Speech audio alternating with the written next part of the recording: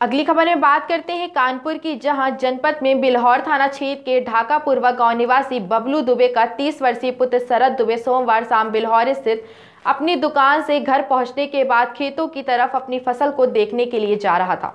तभी वहाँ पहले से मौजूद शरद के पारिवारिक पिता, पुत्र जयंत हुआ। हिमांशु ने उसके ऊपर तमंचे से फायर कर दिया। गोली की आवाज़ सुनकर आसपास के खेतों में मौजूद किसानों को आता देख दोनों पिता, पुत्र मौके से भाग निकले। वहीं सीने में गोली लगने से युवक गंभीर रूप से घायल हो गया।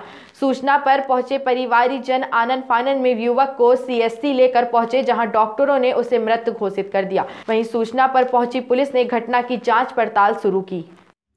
आज देर शाम थाना बिलोर क्षेत्र अंतर्गत ढाका पूर्वा नाना मऊ गाँव में खेतों में शरद द्विवेदी नाम के एक युवक के ऊपर हिमांशु और जयंत नाम दो व्यक्तियों के द्वारा जानलेवा हमला किया गया इसमें शरद के सीने में गोली लगी और बाद में उनकी डेथ हो गई। इस घटना में पुलिस के द्वारा तत्काल मौके पर पहुंचकर दोनों आरोपी हिमांशु और जयंत को हिरासत में ले ले लिया गया है।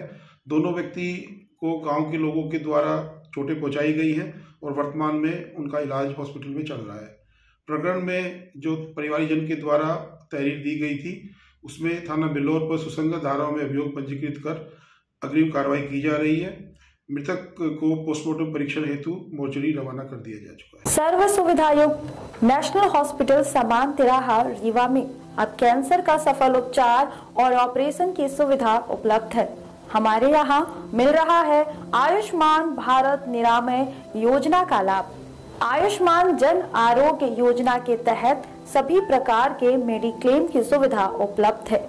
हमारे यहाँ लेजर कैंसर, अस्थि रोग एंडोस्कोपी, लेप्रोस्कोपी एवं प्रसूति रोग का अनुभवी चिकित्सकों के द्वारा उपचार किया जाता है।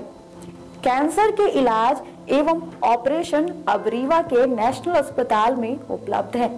नेशनल हॉस्पिटल के संचालक डॉक्टर अखिलेश पटेल के द्वारा उपलब्ध करवाई जा रही हैं सभी सुविधाएँ।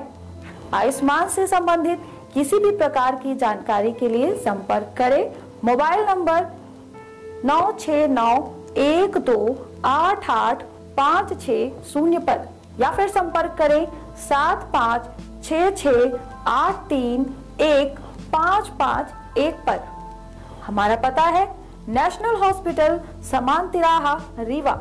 संपर्क करें शून्य सात छ छ दो तीन पाँच नौ नौ सात चार पर या फिर संपर्क करें आठ छ शून्य दो आठ आठ पाँच नौ नौ शून्य पर।